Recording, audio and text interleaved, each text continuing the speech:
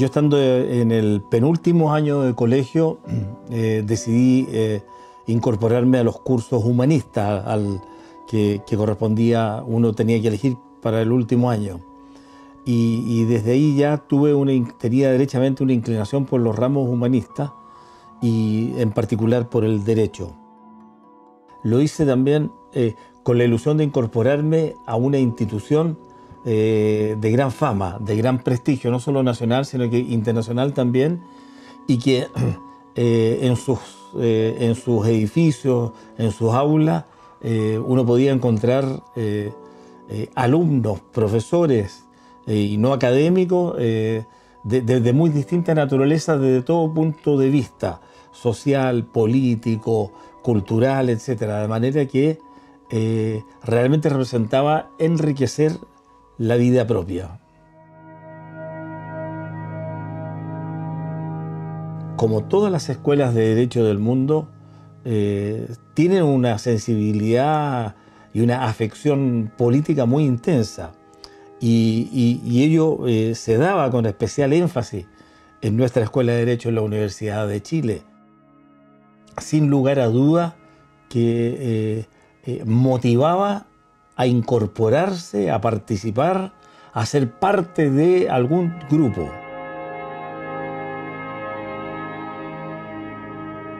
Ya eh, a fines del segundo año, comenzando el tercer año, me metí a un grupo político que era el MAPU, que eh, estaba formado fundamentalmente eh, por gente joven.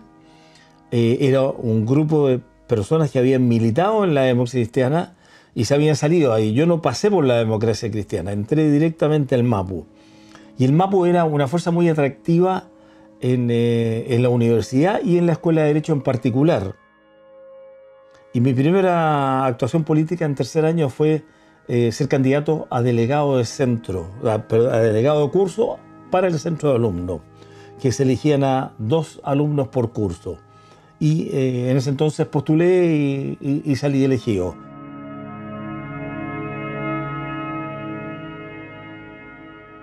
En el año 1972 eh, postulé en abril a ser presidente del Centro de Derecho. Ya habíamos tenido dos presidentes MAPU.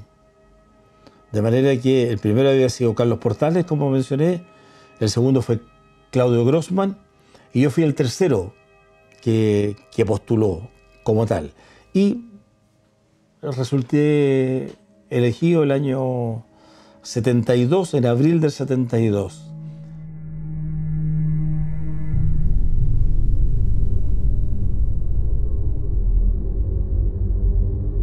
Y entré en un eh, periodo de vida que fue muy complejo porque eh, eh, pasaban cosas, fue un periodo de la vida nacional muy complejo en todo el país. Y, la Escuela de Derecho obviamente fue parte de eso y pasaban cosas muy intensas cotidianamente y muy fuertes a las que uno se veía enfrentado permanentemente.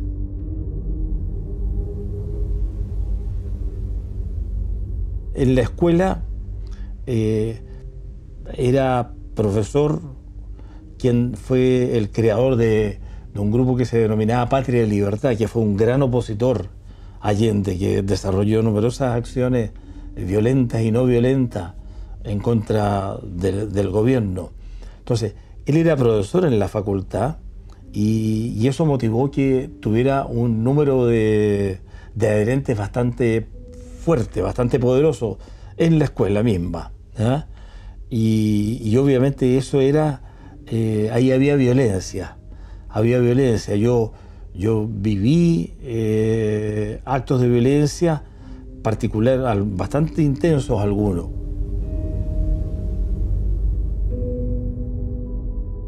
No cabe la menor duda que eh, todos nos dábamos cuenta que estábamos en una situación muy muy grave, que estábamos yendo a un choque en algún minuto, a una confrontación en algún minuto que iba a ser muy duro.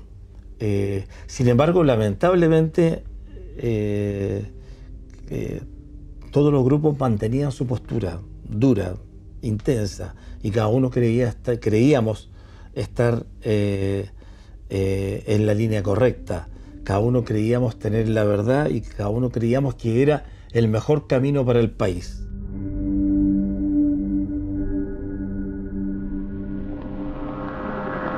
Colocado en un tránsito histórico, pagaré con mi vida la lealtad del pueblo. Y les digo que tengo la certeza que la semilla que entregáramos a la conciencia digna de miles y miles de chilenos no podrá ser cegada definitivamente. Tienen la fuerza, podrán avasallarlo, pero no se detienen los procesos sociales ni con el crimen ni con la fuerza. El, el mismo 11 de septiembre eh, yo estaba en la casa de mi papá y mi papá me despertó muy temprano, me, me dijo que había escuchado en la radio que había golpe de Estado y entonces eh, que teníamos que tomar alguna medida para, eh, en protección mía. Él lo tenía absolutamente claro eso. ¿eh? Eh, de manera que eh, hicimos dos cosas. Él, por un lado, quemó varios documentos y fotografías, qué sé y otros elementos que, que, yo tenía. Eh, obviamente lo conversamos, era, era, quemarlos para evitar que en caso de que me detuvieran los, los usaran en mi contra.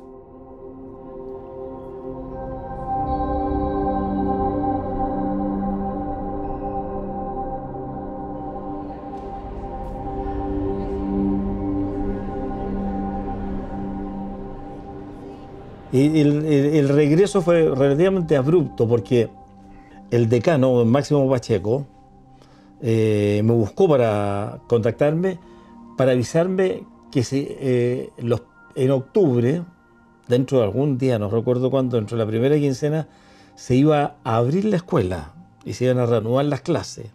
Y él tenía claro que me faltaban los exámenes de cuatro ramos para egresar.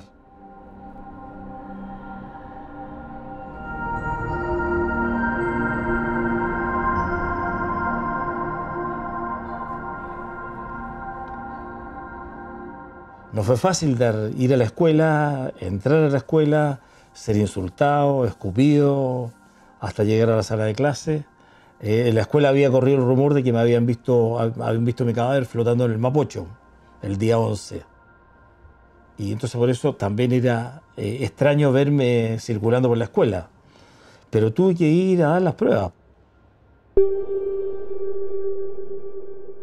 Se nombró un decano en la Escuela de Derecho, en la Facultad de Ciencias Jurídicas y Sociales, para iniciar los sumarios. Ese fue un profesor de Derecho Administrativo, Hugo Caldera. Y estos fiscales, estos, los profesores de la, de la Escuela de Derecho de Chile se repartieron por toda la universidad eh, designados como fiscales y expulsando gente, etc. Bueno.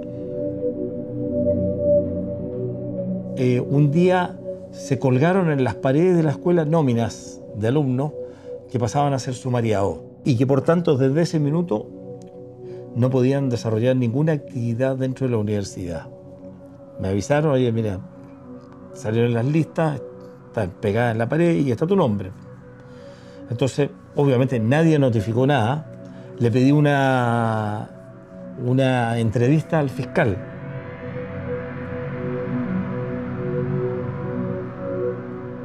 Este señor me dice, mire, señor Varela, antes que nada le voy a decir tres cosas para que tengamos claro en esta conversación. La primera, yo sé que usted está egresado, pero yo tengo que buscar forma de hacer algo para que usted no pueda titularse de abogado. La segunda, mi consejo es que se vaya a titular a la Unión Soviética, a la Universidad Marxista de la eh, de, la, Universidad Patricio creo que se llamaba. Y lo tercero, le quiero advertir que he enviado todos los antecedentes suyos al Servicio de Inteligencia Militar, de manera que si a mi secretaria o a mí nos pasa algo, nos amenazan o de alguna forma nos perturban, con motivo de este proceso, el Servicio de Inteligencia Militar se haga cargo de usted y lo extermine.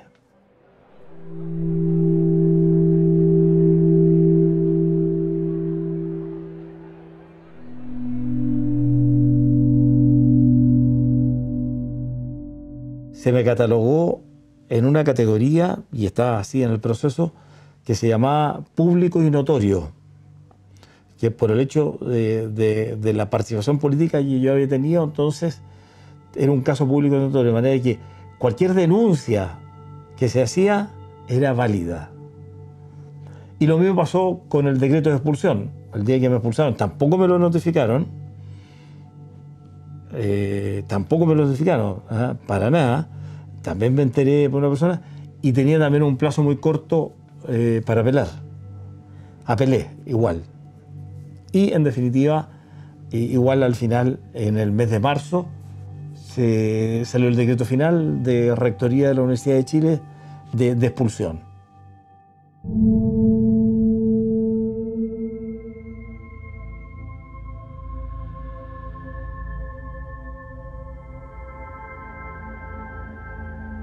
había una represión, pero muy dura y muy fuerte. Había mucha gente en campos de concentración, gente sometida a consejos de guerra, etcétera. Entonces, ahí eh, se me ocurrió que como egresado de Derecho, uno como egresado de Derecho tenía entonces tres años para eh, ejercer, eh, buscar colaborar con la defensa de los derechos humanos.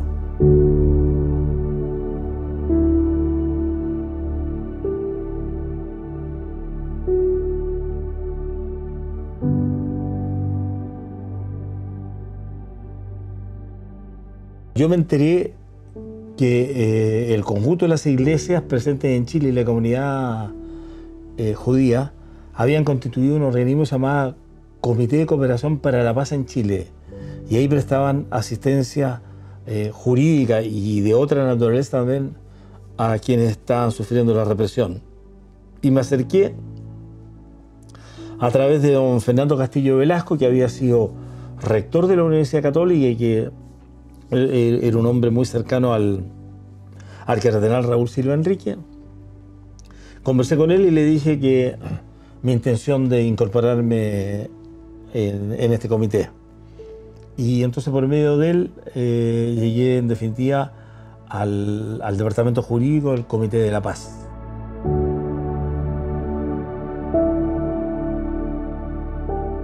Yo, yo, yo cuando me incorporé eh, estuve los tres primeros días leyendo carpetas de los antecedentes que habían y de los recursos judiciales que se habían presentado.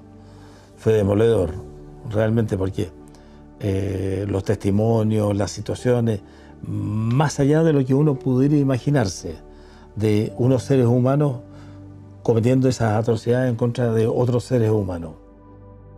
Había una definición del conjunto de las iglesias liderada principalmente por la Iglesia Católica y por el cardenal Raúl Silva Enrique, de defender a las personas, pero también de mostrar, eh, mostrar caminos pacíficos de, resistencia a la dictadura, eh, evitar eh, la respuesta armada, evitar la respuesta por la vía violenta, porque eso además, que era muy iluso en esa época, es decir, ninguna posibilidad frente a las Fuerzas Armadas que estaban totalmente integradas y equipadas y, dispuestas a la represión sin, ningún resquemor.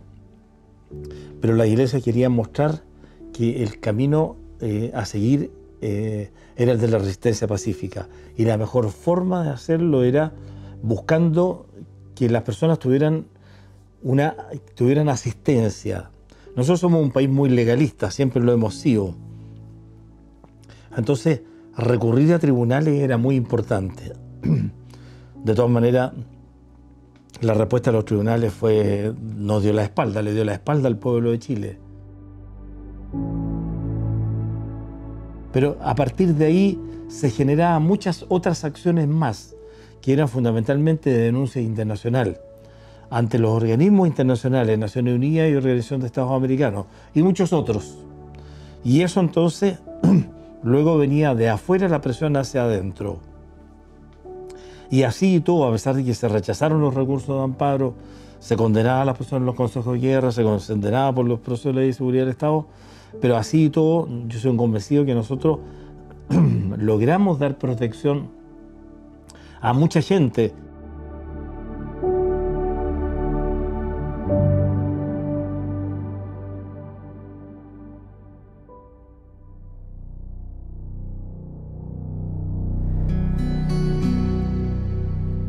Y, a pesar de que pertenecíamos a un organismo que era del conjunto de la iglesia, igual no estábamos exentos de... Nos vigilaban el día entero, nuestros teléfonos estaban intervenidos, eh, no podíamos hacer una vida normal. Nosotros los primeros años eh, solo nos juntábamos entre nosotros, porque incluso era riesgoso. Incluso eh, yo fui secuestrado por la DINA en, noviembre del 74 por el guatón Romo, a quien yo estaba persiguiendo con acciones penales. Yo le había presentado querellas criminales, lo estaba persiguiendo por tortura.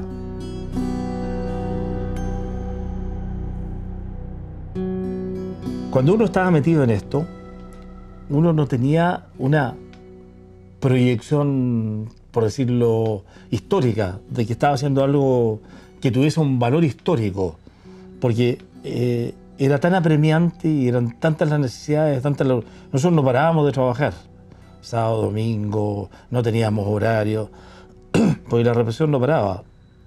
Entonces uno no, no se proyectaba a futuro. Pero de todas maneras, éramos un grupo muy cohesionado, muy intenso.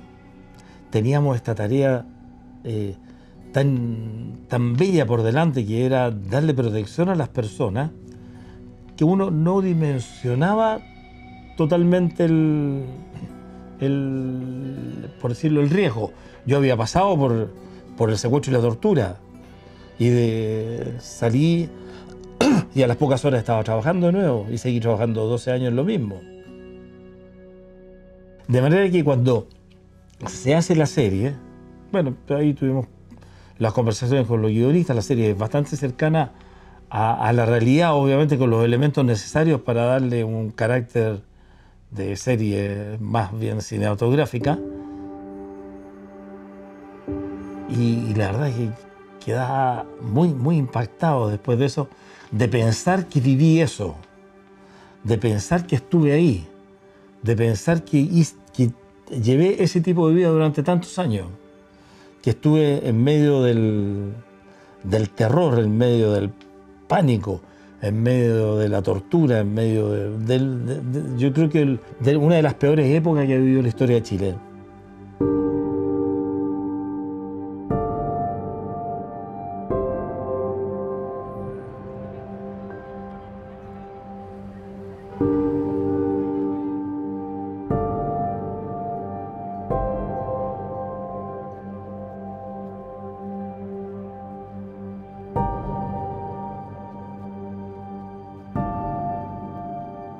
Creo que la Universidad de Chile no ha tenido la capacidad de limpiarse de eso.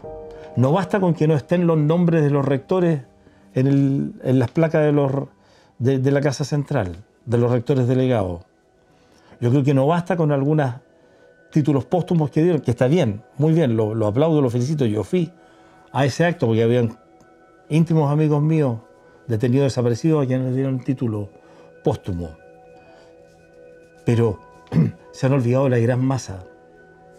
Somos cientos los expulsados a quienes eh, la universidad jamás nos ha considerado, jamás, no le ha importado.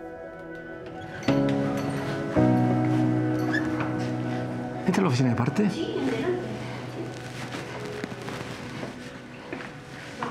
Buen día. Hola, buen día, mucho gusto. Igualmente. Quiero ingresar una solicitud. ¿Ya? Que va acompañada de un documento. Perfecto. ¿Mm?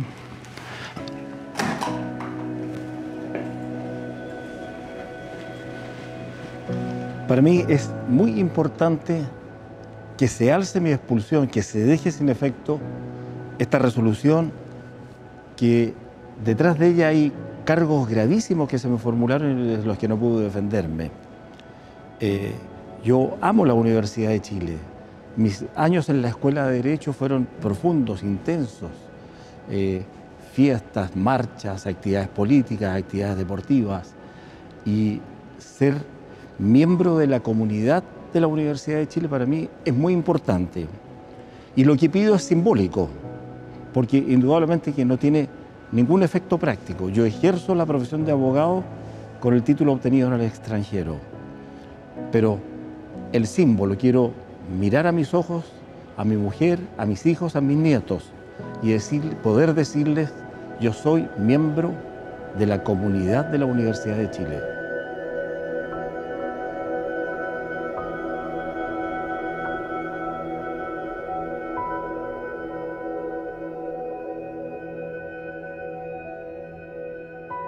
Soy Álvaro Varela Walker, a la época del golpe militar. Yo era presidente del Centro de Alumnos de la Escuela de Derecho de la Universidad de Chile. Y con posterioridad y con motivo del mismo, y precisamente por haber sido dirigente estudiantil, fui expulsado de la Universidad de Chile por un decreto militar del rector delegado militar de la época. En, esa, en esos primeros meses posteriores al golpe militar, me incorporé a trabajar al Comité de Cooperación para la Paz en Chile y luego seguí en la Vicaría de la Solidaridad, instituciones donde estuve 13 años trabajando en la defensa de los derechos humanos.